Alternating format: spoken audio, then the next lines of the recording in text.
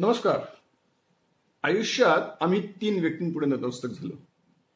एक जन्मदाती आई दुसरे वडील आणि तिसरे मास्तर. हो शाळा मास्तर. आम्ही ज्या मास्तरांबद्दल आदर व्यक्त करतो ना ते शाळा मास्तर. कारण हे तिघेही आपल्याला आयुष्यात काही ना काही शिकवत असतात. जग काय आहे कसं आहे कसं वागलं पाहिजे शिक्षण कसं घेतलं पाहिजे भविष्यातल्या आपल्या वाटचाली कशा असल्या पाहिजेत याबद्दल ही सगळी शिकवणारी मंडळी आहे आई वडिलांना मास्तर म्हणत नाहीत. पण शाळेमध्ये मात्र जो शिकवतो त्याला मास्तर म्हणतात. मास्तर का? हा एक आपुलकीचा शब्द आहे. आपुलकीचं नातं असणारी व्यक्तीला मास्तर म्हणतात. इंग्रजीत सर काही म्हणत असू दे. पण आपल्या संस्कृतीमध्ये गावोगावी मास्तर हा आदराचा मनुष्य राहिलेला आहे. आणि त्याबद्दल काहीच वाद नाही. पण आम्ही आज ज्या मास्तरांबद्दल बोलणार आहोत त्या मास्तरांबद्दल आदर अजिबात नाही. कारण मास्तर ही त्यांनी उपाधी लावून कदाचित लोकांची फसवणूक केली असावी असं आम्हाला वाटत आहे हो आम्ही बोलतोय ते मास्तर आडम. मास्तर नरसय्या आडम जे सोलापूरचे लोकप्रतिनिधी राहिलेले आहेत. या शहरातील विडी उद्योगातील कामगार वस्त्रोद्योगातील कामगार यांचं नेतृत्व ते करत आहेत असं दिसतं आहे. ठीक आहे नेतृत्व करण्याबद्दल कोणाचं दुमत नाही. पण सोलापुरातली कोणता उद्योग या मास्तरांमुळे टिकून राहिलेला आहे किंवा आलेला आहे असं मास्तर सांगू शकतील का हो? मागं आम्हाला असं समजलं होतं की सिमको नावाचं बिर्लाचं एक युनिट सोलापुरात आलं होतं. मास्तर तिथे गेले होते. त्यातल्या व्यवस्थापनाने सांगितलं मास्तर हे सोलापूरचं युनिट तुमच्या दृष्टीनं खूप मोठं असेल. आमच्या दृष्टीनं पानाची टपरी आहे. उगच त्या कर्मचाऱ्यांची नावं पुढे करून शाळा करायला येऊ नका. हो हो शाळा. मी तेच सांगतोय. या अडम मास्तरांची एक शाळा आहे. आपल्याला कल्पना आहे ना? शाळा हे आपल्या श्रद्धेचं ठिकाण आहे. इथं आपण शिकतो मोठे होतो ती शाळा. पण आडम मास्तर करतात ती शाळा वेगळी आहे. ती शाळा करतात शिकवत नाहीत. सोलापूरच्या एकेकाळी प्रसिद्ध असलेला वस्त्रोद्योग जो लयास गेला त्याला कामगार पुढारी कारणीभूत होते. शेठ मोरारका यांची जी जुनी गिरणी सोलापूरात होती त्याच्या मालकाचा पुतळा सोलापुरात जाळला गेला होता आणि तेव्हापासून मी सोलापुरात कशाला यायचं आणि उद्योग कशाला चालवायचे असं म्हणून जे दुर्लक्ष झालं सोलापूरकडे तेव्हापासून सोलापूरच्या उद्योग जगताला घर करायला लागले. तो फार मोठा अजून वाढलेला नाही. तो आहे. नाही असं नाही पण तो आहे.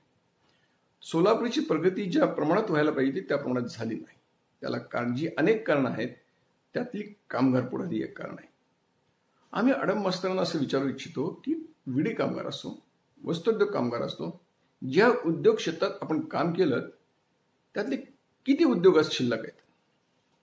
किती उद्योग नव्यानं आलेले आहेत? आणि उद्योग न येण्यामध्ये त्याला आपणही कारणीभूत आहात का? एकदा तपासून पहा. हो हे सांगायचं कारण असं की सोलापूरची सिद्धेश्वर सहकारी साखर कारखान्याची एक चिमणी आहे बेकायदेशीरपणे उभी केलेली. त्याच्या मालकांनी म्हणजे अध्यक्षांनी म्हणजे हो धर्मराज काडादी यांनी ती बेकायदेशीरपणे उभी केलेली आहे. त्याच्या न्यायालयीन लढे चालू आहेत सामाजिक लढे चालू आहेत आणि ती लवकरच जमीनदोस्त होणार आहे. हो जमीनदोस्त होणार आहे. कारण असं आहे की ती बेकायदेशीर आहे. आता आमच्या या अडमास्तरांचा काही अनुभव पाठीशी घेऊन. धर्मराज काडादी यांना समजून सांगावं का? अशा एका भूमिकेतून आम्ही मास्तरांकडे गेलो होतो. म्हणजे मास्तर तुम्ही मोठे आहात वयानं अनुभवानं. जरा धर्मराज काडादीनं समजून सांगताल का? कारण तेथील कामगारांची उपासमार व्हायची शक्यता आहे. तेव्हा मास्तरांनी क्षणाचाही विलंब न करता आम्हाला सांगितलं मी तटस्थ राहणार आहे. या विषयात मला काही बोलायचं नाही. आम्ही म्हणलं ठीक आहे. ज्याची त्याची भूमिका आहे. आमच्या या आंदोलनामध्ये आम्ही कोणाला सक्ती करू शकत नाही बळजबरी करू शकत नाही. मग बोलाचालीमध्ये सांगीन गोष्टी युक्तीच्या चार असं करत मास्तरांनी काही गोष्टी सांगितल्या नाही असं नाही. पण ते राजकीय क्षेत्राशी निगडीत होत्या की ज्या क्षेत्रात आम्हाला जायचं नव्हतं. आणि आज जेव्हा चिमणी पडायला आलेली आहे ती पडायच्या समीप आहे तेव्हा ह्याच अडमवस्त्रांनी आता उडी मारली आहे आंदोलनामध्ये. ते म्हणतात जर का चिमणीला हात लावाल चिमणी पडतात तर सगळ्या शेतकरी आणि कारखान्याच्या कामगारांचा मजुराचा आम्ही लढा उभा करू आणि रस्त्यावरती मोठा मोर्चा काढू. मास्तर वस्त्रोद्योग आणि बीड क्षेत्र आपल्या उपद्व्यापामुळे वाढलेलं नाहीये. आता आपली नजर त्या शेतकऱ्यांच्या साखर कारखान्याला का आहे आपण जर का तटस्थच राहणार होतात ना तर तटस्थ राहा ना. कसली शाळा करताय? आपण पाच पंचवीस हजार कामगारांच्या बद्दल जेव्हा लढण्याची भाषा करता ना तेव्हा सोलापुरातील बारा ते पंधरा लाख नागरिकांच्या जीवाशी आणि भवितव्याशी खेळत असतात हे विसरू नका. मास्तर शाळा बंद करा. असल्या शाळा नका चालू. शोभणारं नाही एक आपला हितचिंतक म्हणून आपल्याला सांगायची वेळ आमच्यावरती आलेली आहे.